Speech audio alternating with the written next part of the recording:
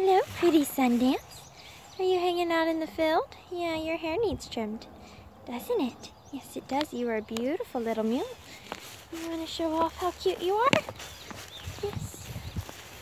Cutie. There she is. That's Sundance. See how absolutely friendly this little mule is. She is following me around.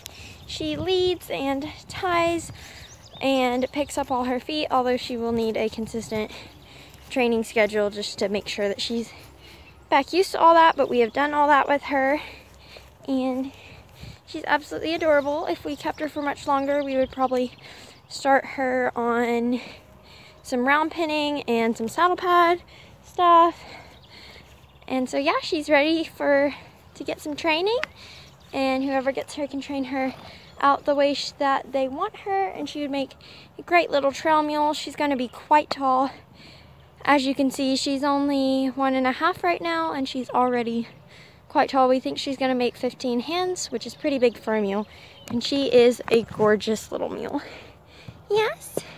And as you can see, she's very, very friendly.